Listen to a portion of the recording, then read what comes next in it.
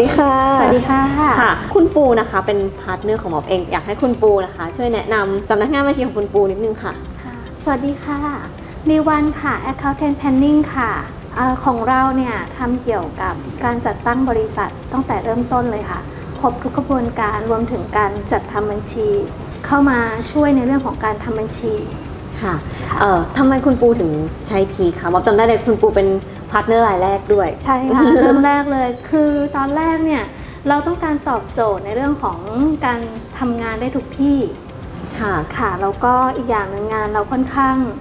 มันมีหลากหลายอ๋อแล้วลูกค้าเนี่ยต้องการความหลากหลาย แล้วก็ความรวดเร็วในการดึงข้อมูล อืมก็เลยแบบเลือกใช้ PEAK ใช่ไหมใช่ค่ะ แล้วมีฟีเจอร์ไหนที่คุณปูแบบชอบมากๆใน PEAK บ้างไหมคะ ค่ะ อันนี้ต้องขอบคุณ PEAK มากเลยค่ะ ที่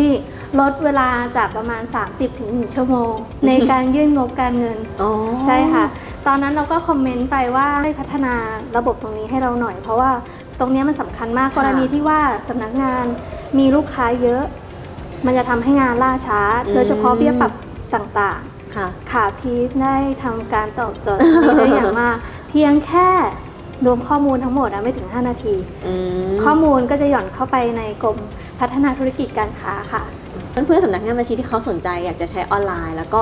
ทำไมเขาถึงต้องแบบมาเลือกใช้พีคตอบโจทย์ความรวดเร็วค่ะ ไม่ต้องกลัวข้อมูล ที่เราได้เก็บไว้มันจะสูญหาย มีระบบคลาวด์รัดกุมค่ะ ขอบคุณคุณปูมาก ๆ เลยนะคะได้ค่ะสำหรับวันนี้แล้วก็ขอฝากมีวัน Accountant Planning ค่ะขอบคุณค่ะ